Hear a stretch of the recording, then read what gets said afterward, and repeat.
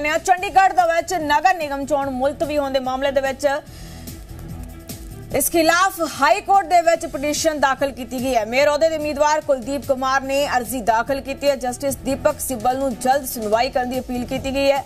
Division bench ਦੇ ਸਾਹਮਣੇ ਤੁਰੰਤ ਸੁਣਵਾਈ ਦੀ ਅਪੀਲ ਕੀਤੀ ਗਈ ਹੈ। ਪੰਜਾਬ ਦੇ ਐਡਵੋਕੇਟ ਜਨਰਲ ਗੁਰਮਿੰਦਰ ਸਿੰਘ ਵੀ ਪੇਸ਼ ਹੋ ਰਹੇ ਨੇ।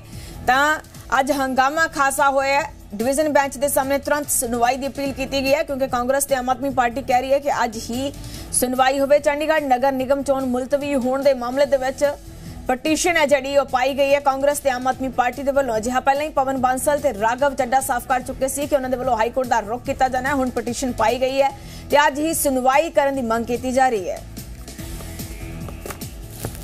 ਸਹਿਯੋਗੀ ਨਾਲ ਲਾਈਵ ਜੁੜ ਚੁੱਕੇ ਨੇ ਪਵਿੱਤ ਦਾ ਰੁਖ ਕਰ ਲੈਣੇ ਪਵਿੱਤ ਪਟੀਸ਼ਨ ਦਾ ਕਿਹਾ ਗਿਆ ਸੀ, ਰਾਘਵ ਚੱਡਾ ਵੱਲੋਂ ਵੀ ਤੇ ਪਵਨ ਬਾਂਸਲ ਦੇ ਵੱਲੋਂ ਵੀ ਹੁਣ ਪਟੀਸ਼ਨ ਪਾ ਦਿੱਤੀ ਗਈ ਹੈ। ਅੱਜ ਹੀ ਸੁਣਵਾਈ ਦੀ ਮੰਗ ਕੀਤੀ ਜਾ ਰਹੀ ਹੈ। ਹੋਰ ਕੀ ਕੁਝ ਅਪਡੇਟਸ ਨੇ ਤੁਹਾਡੇ ਕੋਲ? ਜੀ, ਬਿਲਕੁਲ, ਦੇਖੋ ਦੇਖੋ, ਜਸਮੀਤ, ਅੱਜ ਜੋ ਵੀ ਹੰਗਾਮਾ ਸਵੇਰ ਤੋਂ ਹੋਇਆ, ਹੁਣ ਗੁਹਾਰ ਜਿਹੜੀ ਹੈ Punjab and Haryana high court ਦੇ ਵਿੱਚ ਲਗਾਈ ਜਾ ਰਹੀ ਹੈ। ਇਸ ਸਮੇਂ ਵੀ ਮੈਂ ਚੰਡੀਗੜ੍ਹ ਮਿਊਨਿਸਪਲ ਕਾਰਪੋਰੇਸ਼ਨ ਦੇ ਬਾਹਰ ਹੀ ਖੜੀ ਹਾਂ। ਤੁਹਾਨੂੰ ਦੱਸ ਦਈਏ ਕਿ ਚੰਡੀਗੜ੍ਹ ਨਗਰ ਨਿਗਮ ਦੇ ਜੋ ਚੁਣਾਵ ਨੇ, ਉਹ ਸਥਗਿਤ ਹੋ ਗਏ ਨੇ, ਜਿਹਦੇ ਕਰਕੇ ਅੱਜ ਜਸਟਿਸ ਦੀਪਕ ਸਿੱਬਲ ਦੀ ਜੋ ਡਿਵੀਜ਼ਨਲ ਬੈਂਚ ਹੈ, ਉਹਨਾਂ ਦੇ ਸਾਹਮਣੇ ਜਿਹੜੀ ਹੈ ਫੌਰਨ ਤੌਰ ਤੇ ਜੋ ਹੈ, ਕਿਹਾ ਜਾ ਰਿਹਾ ਹੈ ਕਿ ਸੁਣਵਾਈ ਕੀਤੀ ਜਾਵੇ। ਪੰਜਾਬ ਦੇ ਜੋ ਐਡਵੋਕੇਟ ਜਨਰਲ ਨੇ ਗੁਰਵਿੰਦਰ ਸਿੰਘ, ਉਹ ਪੇਸ਼ ਹੋਣਗੇ। ਤੁਹਾਨੂੰ ਦੱਸ ਦਈਏ ਕਿ ਉਮੀਦਵਾਰ ਕੁਲਦੀਪ ਕੁਮਾਰ ਟੀਟਾ ਜੋ ਨੇ, ਉਹਨਾਂ ਦੇ ਵੱਲੋਂ ਹੀ ਇਹ ਯਾਚਿਕਾ ਜਿਹੜੀ ਹੈ ਦਾਇਰ ਕੀਤੀ ਗਈ ਹੈ। ਤੁਹਾਨੂੰ ਦੱਸ ਦਈਏ ਕਿ ਕੱਲ ਸ਼ਾਮ ਨੂੰ ਵੀ ਇੱਕ ਕੇਸ ਜਿਹੜਾ ਲਾਈਮਲਾਈਟ ਦੇ ਵਿੱਚ ਸੀਗਾ, ਜਿਹਦੇ ਵਿੱਚ ਕੁਲਦੀਪ ਸਿੰਘ ਟੀਟਾ ਦੇ ਵੱਲੋਂ ਹੀ ਜੋ ਹੈ ਇੱਕ ਯਾਚਿਕਾ ਦਾਇਰ ਕੀਤੀ ਗਈ ਸੀ ਕਿ ਇੱਕ ਆਬਜ਼ਰਵਰ ਜੋ ਹੈ, ਇਹ ਸਾਰੇ ਹੀ ਇਲੈਕਸ਼ਨਸ ਨੂੰ ਦੇਖਣ ਦੇ ਲਈ ਲਗਾਇਆ ਜਾਏ। ਬਟ ਹੁਣ ਦੁਬਾਰਾ ਤੋਂ ਹੀ ਆਮ ਆਦਮੀ ਪਾਰਟੀ ਤੇ ਕਾਂਗਰਸ ਦੀ ਇੱਕ ਮੀਟਿੰਗ ਜਿਹੜੀ ਹੈ ਥੋੜੀ ਦੇਰ ਪਹਿਲਾਂ ਜੋ ਲਗਾਤਾਰ ਚੱਲ ਰਹੀ ਹੈ, ਇਸ ਸਮੇਂ ਵੀ ਉਹ ਸੀਐਮ ਹਾਊਸ ਦੇ ਵਿੱਚ ਮੀਟਿੰਗ ਦੇ ਲਈ ਮੌਜੂਦ ਨੇ ਤੇ ਹੁਣ ਜੋ ਹੈ Punjab and Haryana high court ਦਾ ਜਿਹੜਾ ਰੁਖ ਕੀਤਾ ਗਿਆ ਯਾਚਿਕਾ ਦਾਇਰ ਕੀਤੀ ਗਈ ਹੈ ਤੇ ਗੁਰਮਿੰਦਰ ਸਿੰਘ ਜੋ ਕਿ ਪੰਜਾਬ ਦੇ ਵੱਲੋਂ ਜੋ ਨੇ ਇਸ- ਨੂੰ ਰਿਪਰੈਜ਼ੈਂਟ ਕਰਨਗੇ ਤੇ ਯਾਚਿਕਾ ਦੀ ਮੈਂਸ਼ਨਿੰਗ ਹੋ ਗਈ ਹੈ। ਥੋੜੀ ਦੇਰ ਦੇ ਵਿੱਚ ਉਹ ਇਹੀ ਵੀ ਕਹਿ ਰਹੇ ਨੇ ਕਿ ਅੱਜ ਹੀ ਇਹਦੇ ਉੱਪਰ ਸੁਣਵਾਈ ਹੋਵੇ। ਥੋੜੀ ਦੇਰ ਦੇ ਵਿੱਚ ਸੁਣਵਾਈ ਕੀ ਕੁਝ ਸਾਹਮਣੇ ਚੀਜ਼ਾਂ ਨਿਕਲ ਕੇ ਆਉਂਦੀਆਂ ਨੇ, ਕੀ ਕੁਝ ਸੁਣਵਾਈ ਦੇ ਵਿੱਚ ਆਣਾ ਕਾਫੀ ਦਿਲਚਸਪ ਹੋਊਗਾ। ਜਿੱਥੇ ਇੱਕ ਪਾਸੇ ਅਸੀਂ ਕਹਿ ਸਕਦੇ ਹਾਂ ਕਿ ਬੀਜੇਪੀ ਨਹੀਂ ਚਾਹੇਗੀ ਕਿ ਅੱਜ ਇਲੈਕਸ਼ਨਸ ਜਿਹੜੇ ਉਹ ਹੋਣ ਕਿਉਂਕਿ ਅੱਜ ਦਾ ਜੋ ਵੀ ਸਵੇਰ ਦਾ ਹੀ ਕਿਉਂਕਿ ਇਹ ਸਮੀਕਰਨ ਇਹੋ ਜਿਹੇ ਬਣੇ ਹੋਏ ਸੀ। ਪਹਿਲਾਂ ਆਮ ਆਦਮੀ ਪਾਰਟੀ ਇੱਥੇ ਪਹੁੰਚੀ, ਉਸ ਤੋਂ ਬਾਅਦ ਕਾਂਗਰਸ ਇੱਥੇ ਪਹੁੰਚੀ ਤੇ ਕਿਸੇ ਕਾਉਂਸਲਰ ਨੂੰ ਵੀ ਅੰਦਰ ਜਾਣ ਦੀ ਜਿਹੜੀ ਇਜਾਜ਼ਤ ਨਹੀਂ ਸੀ। ਉਸ ਤੋਂ ਬਾਅਦ ਜੋ ਸੀਨੀਅਰ ਅਸੀਂ ਕਹਿ ਸਕਦੇ ਲੀਡਰਸ ਇੱਥੇ ਪਹੁੰਚੇ ਜਿਨ੍ਹਾਂ ਨੇ ਕਿਹਾ ਸੀ ਕਿ ਅਗਰ ਇਲੈਕਸ਼ਨ ਅੱਜ ਨਹੀਂ ਹੋਣਗੇ, ਤਾਂ Punjab and Haryana high court ਦਾ ਰੁਖ ਕਰਨਗੇ ਕਿ ਐਂਡ ਦੇ ਵਿੱਚ ਉਹਨਾਂ ਨੇ ਪੰਜਾਬ ਤੇ ਹਰਿਆਣਾ ਹਾਈ ਕੋਰਟ ਦਾ ਜਿਹੜਾ ਰੁਖ ਕੀਤਾ ਹੈ, ਇੱਕ ਯਾਚਿਕਾ ਦਾਇਰ ਕੀਤੀ ਹੈ ਤੇ ਜਿਹਦੇ ਵਿੱਚ ਸੁਣਵਾਈ ਥੋੜੀ ਹੀ ਦੇਰ ਦੇ ਵਿੱਚ ਸ਼ੁਰੂ ਹੋ ਜਾਊਗੀ ਜਸਮੀਤ। ਜੇ ਇਲੈਕਸ਼ਨਸ ਅੱਜ ਨਹੀਂ ਹੁੰਦੀਆਂ, ਤਾਂ ਫਿਰ ਅਗਲੇ ਸਮੀਕਰਨ ਕੀ ਰਹਿ ਸਕਦੇ ਨੇ?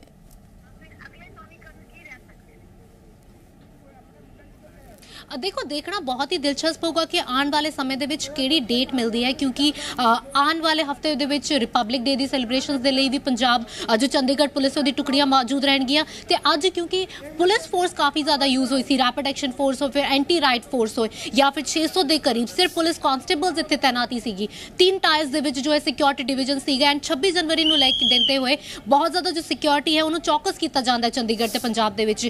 ਤੇ ਕੋਈ ਵੀ ਮੈਂ ਕਹਿ ਸਕਦੀ ਹਾਂ ਕਿ ਅਗਰ ਅਸੀਂ ਦੇਖੀਏ ਤੇ ਆਉਣ ਵਾਲੇ 2 ਦਿਨ ਹੋ ਸਕਦਾ ਇੱਕ ਜਾਂ ਦੋ ਦਿਨ ਦੇ ਬਾਅਦ ਦਾ ਟਾਈਮ ਵੀ ਨਹੀਂ ਮਿਲ ਸਕਦਾ ਕਿਉਂਕਿ 22 ਤਰੀਕ ਨੂੰ ਪ੍ਰਾਣ ਪ੍ਰਤਿਸ਼ਠਾ ਜਿਹੜਾ ਉਹ ਪੂਰੇ ਚੰਡੀਗੜ੍ਹ ਦੇ ਵਿੱਚ ਮਨਾਇਆ ਜਾਊਗਾ, ਜਿਹਦੇ ਲਈ ਸਿਕਿਉਰਿਟੀ ਜਿਹੜੀ ਹੈ ਉਹਨੂੰ ਵੀ ਚੌਕਸ ਕੀਤਾ ਜਾਊਗਾ। ਤੇ ਸਾਰੇ ਹੀ ਸਮੀਕਰਨ Punjab and Haryana high court, ਇਹ ਸਾਰੀ ਹੀ ਚੀਜ਼ਾਂ ਨੂੰ ਆਪਣੇ, ਅਸੀਂ ਕਹਿ ਸਕਦੇ ਹਾਂ, ਮੱਦੇਨਜ਼ਰ ਰੱਖਦੇ ਹੋਏ ਜੋ ਵੀ ਡਿਸੀਜਨ ਹੋਊਗਾ, ਉਹ ਲਿਆ ਜਾਏਗਾ। ਜੀ, ਤਾਂ ਹੁਣ ਇਸ ਨੂੰ ਲੈ ਕੇ ਕਿ ਬੀਜੇਪੀ ਦਾ ਕੋਈ ਵਰਜ਼ਨ ਆਇਆ? ਜੋ ਪਟੀਸ਼ਨ ਪਾਈ ਗਈ, ਉਸ ਤੇ ਬੀਜੇਪੀ ਕੁਝ ਬੋਲੀ ਹੈ?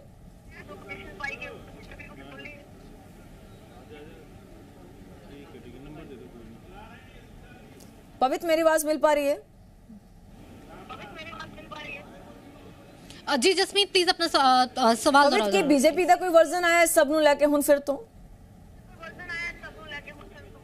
ਅ, ਦੇਖੋ ਬੀਜੇਪੀ ਦੇ ਜੋ ਅ, ਅ, ਪੂਰਵ ਮੇਅਰ ਸੀ ਅਨੂਪ ਗੁਪਤਾ ਉਹ ਵੀ ਥੋੜੀ ਦੇਰ ਪਹਿਲੇ ਇੱਥੇ ਪਹੁੰਚੇ ਸੀ, ਬਾਬਲਾ ਜੀ ਜੋ ਕਿ ਉਹਨਾਂ ਦੇ ਇੱਕ ਹੋਰ ਕਾਉਂਸਲਰ ਨੇ, ਉਹ ਵੀ ਇੱਥੇ ਪਹੁੰਚੇ ਸੀ। ਉਹਨਾਂ ਦਾ ਕਹਿਣਾ ਇਹ ਹੈ ਕਿ ਹੁਣ ਕਿਸੇ ਦੀ ਤਬੀਅਤ ਖਰਾਬ ਹੋ ਗਈ ਤੇ ਇਹਦੇ ਵਿੱਚ ਉਹ ਕੀ ਕਰ ਸਕਦੇ ਨੇ? ਕਿਉਂਕਿ ਉਹ ਬੀਜੇਪੀ ਦੇ ਲੋਕ ਨਹੀਂ ਹੈ, ਉਹ ਮਿਊਨਿਸਪਲ ਕਾਰਪੋਰੇਸ਼ਨ ਨੂੰ ਬਿਲੋਂਗ ਕਰਦੇ ਆ, ਜੋ ਵੀ ਪ੍ਰੀਜ਼ਾਈਡਿੰਗ ਆਫੀਸਰ ਸੀ ਤੇ ਇਹਦੇ ਨਾਲ ਬੀਜੇਪੀ ਦਾ ਕੋਈ ਵੀ ਲੈਣਾ ਦੇਣਾ ਨਹੀਂ ਹੈ। ਬਟ ਦੂਜੇ ਪਾਸੇ ਜੋ ਤਨ ਜਿਹੜੇ ਨੇ ਜੋ ਕਸੇ ਜਾ ਰਹੇ ਨੇ ਕਾਂਗਰਸ ਤੇ ਆਮ ਆਦਮੀ ਪਾਰਟੀ ਵੱਲੋਂ ਕਿ ਅੱਜ ਬੀਜੇਪੀ ਹੀ ਸਾਰੀ ਬਿਮਾਰ ਹੋ ਗਈ ਹੈ। ਤੇ ਦੇਖਣਾ ਬਹੁਤ ਹੀ ਅਸੀਂ ਕਹਿ ਸਕਦੇ ਹਾਂ, ਬਹੁਤ ਹੀ ਪੇਚੀਦਾ ਹਾਲਾਤ ਇਸ ਸਮੇਂ ਬਣੇ ਹੋਏ ਨੇ ਕਿਉਂਕਿ ਅੱਜ ਤੱਕ ਹਿਸਟਰੀ ਦੇ ਵਿੱਚ ਕਦੇ ਵੀ ਇਹੋ ਜਿਹੇ ਹਾਲਾਤ ਨਹੀਂ ਬਣੇ ਕਿ ਪੋਸਟਪੋਨ ਹੋਏ ਹੋਣ ਇਲੈਕਸ਼ਨ ਜਾਂ ਫਿਰ ਪੰਜਾਬ ਜਾਂ ਹਰਿਆਣਾ ਹਾਈ ਕੋਰਟ ਦਾ ਜਿਹੜਾ ਰੁਕ ਕਰਨਾ ਪਿਆ ਹੋਵੇ।